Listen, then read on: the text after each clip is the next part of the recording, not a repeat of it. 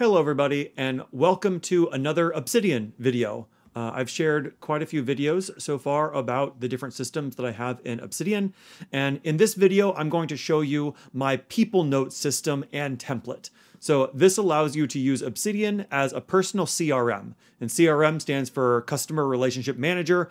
It's usually used for companies and businesses or salespeople, um, but you can use it just to keep yourself organized in Obsidian. Uh, this video is just one piece of a much bigger Obsidian picture. Uh, I also have the following systems all set up and going, um, and I'm going to link to any of those videos that I have in the description. So I have daily notes, I have meeting notes, I have people notes, which is this video here.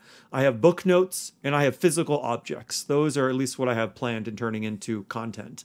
Um, this video documents the entire process of setting up a whole people note system from an empty vault. So I'm going to be showing you this right here is my vault. I have an empty vault that I'm going to be showing you how to do this in. The only changes that I've made to this empty vault is that I have installed a theme that I really like. It is the LYT mode by Nick Milo. So definitely a really cool theme. I definitely recommend checking it out if you like it. Um, and then I've also already pre-created a bunch of directories and folders in the style that I like. Uh, I include all of that information on my blog, again, description in or link in the description, um, but I'm not going to cover any of that in this video. Um, additionally, I do have a few files from previous tutorials, but we're really not going to be touching them in this tutorial, so that doesn't actually make too much of a difference.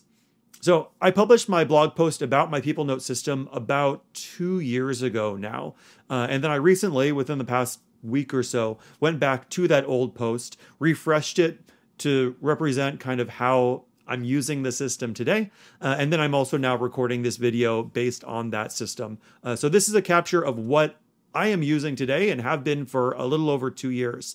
Um, just because something works for me does not mean that something is going to work for you. Just right off the bat. So feel free to take what I'm doing here and then change it, evolve it, steal anything that you like, add anything else that you want to it, and make the system your own.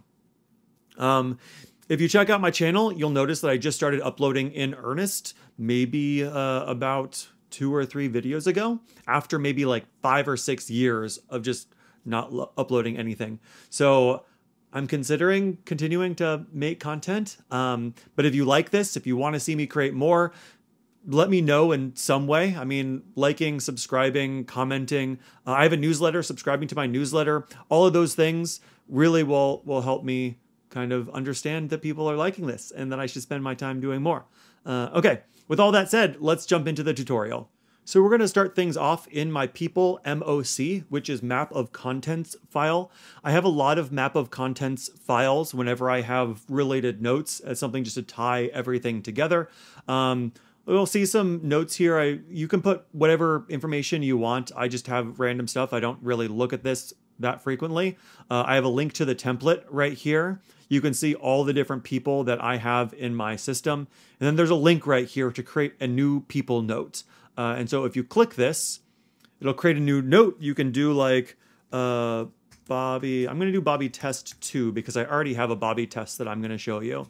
Um, so yeah, you have all of these properties that you can add in. You can type notes about the people that you want.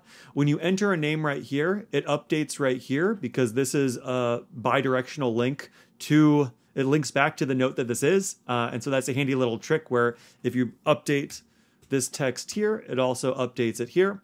Uh, and then this right here is, for me at least, the crux of the system. So this is a list of meetings that this person has been in. So let's open, let's go to Bobby Test, just the original Bobby Test, the OG. Uh, and you can see that I have an example meeting. Uh, and if you click on here, you can see all of the different notes for this meeting that this person is in. And if you have multiple meetings, all you really need to do is include a link to this person in the list of attendees, and it will automatically show up in this section here. So, really handy, kind of a centralized place. If you're ever in a meeting with somebody and you've been in a meeting with them before, you can click on their name and kind of see information and see everything, the, full context for everything. So, that's the system we're going to be setting up. Pretty powerful and awesome. It, it helps me out a lot. Uh, and let's jump into the whole process of setting it up from an empty vault. All right, here we are in a brand new empty vault. And it looks very similar because, as I said, I've already pre-installed a theme. It is LYT Mode by Nick Milo. Really great theme. And then you can see on the side here, I've already installed, or not installed, but created a bunch of directories uh, at the forefront. So those are the only two things that I've done.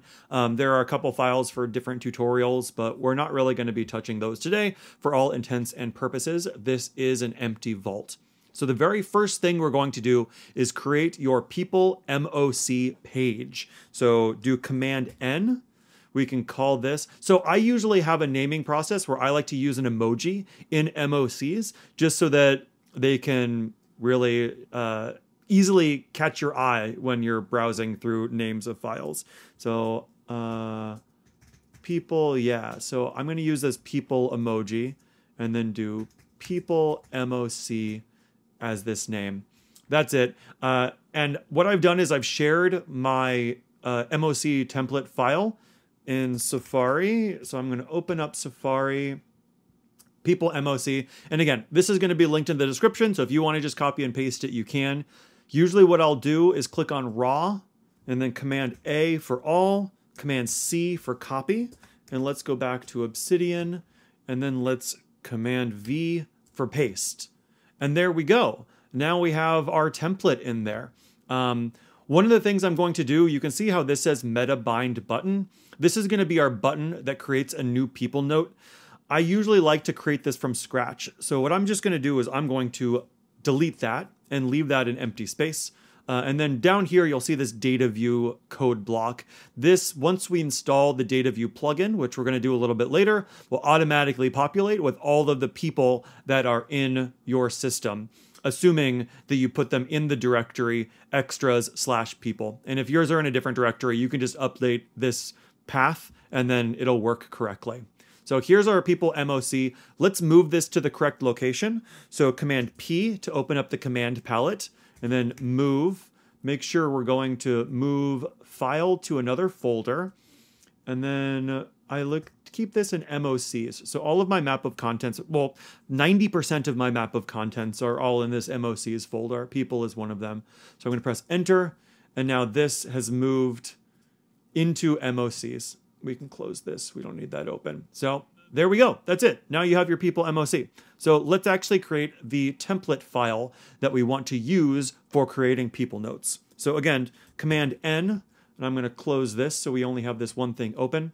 Naming convention for templates, I always use templates here. Template, comma, people. So this is going to be how I do my people template. Again, let's go back to a browser and just copy and paste it. So Safari. Great. Uh, people template. Let's go to raw, select all, copy this, and then paste it right here.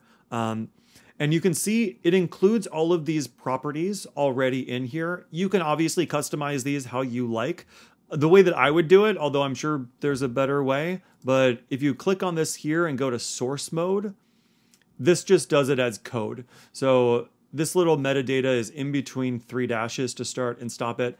And you can delete, you can add any information that you want here uh, and make this your own. Um, and then let's turn this back into the regular mode. And so this is our template. Uh, and really basic. And again, this right here is the Dataview table that's going to populate with all of the meetings from timestamps meetings you'll see. And it says where it contains an outlink, so a link back to this particular template. Uh, so let's move this to our template location. So Command P, move, move file to another folder. Uh, and let's do this in extras templates. So this is where I keep all of my templates. So enter. And then you can see here, extras, templates. We have our people note template next to the other ones that I've created for other tutorials. And that's pretty much it. Let's go back to the MOC file uh, and create the button. Oh, actually, we need to install all of the plugins, otherwise nothing will work. So let's install the plugins next.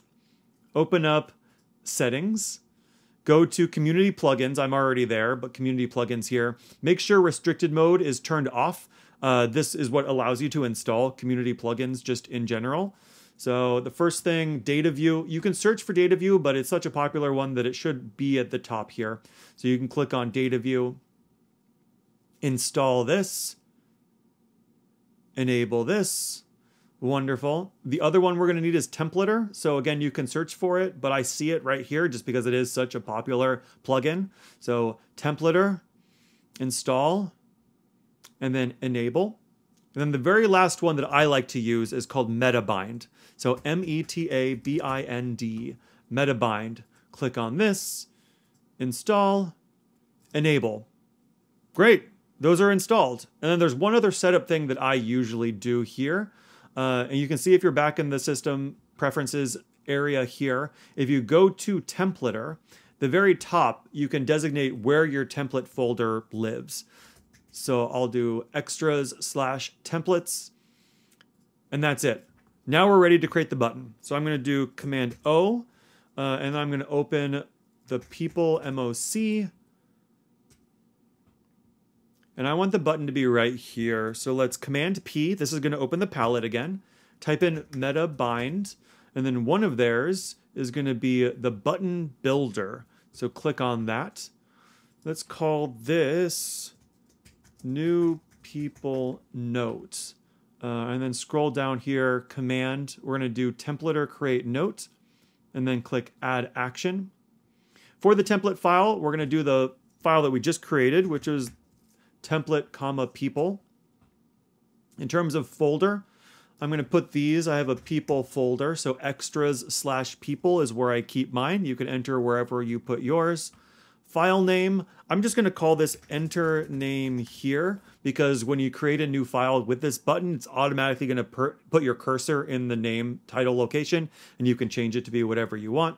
Um, and then open note. So open this after it runs. So copy this to clipboard. Let's paste it right here. Great. And now we have this button to create a new people note. So I'm going to press that, enter name, Bobby Test. And there we go.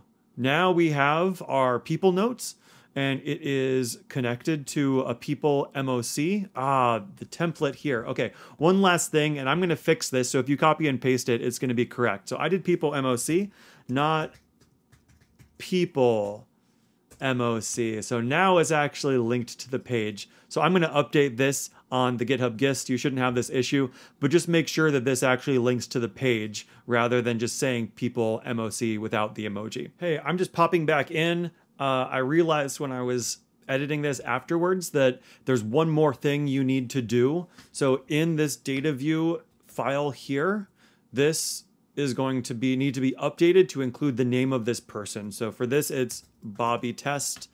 Make sure this is updated for this Dataview table to work. Um, just because this templater code is running before we've actually written the name here. Uh, and so this is not going to work unless you fix it right here. There you go. And now back to the rest of the video. Uh, and there you go. This is all set up and working now. Uh, I hope you've enjoyed this video. If you have, check out some of my other Obsidian content, and I'll see you in the next video.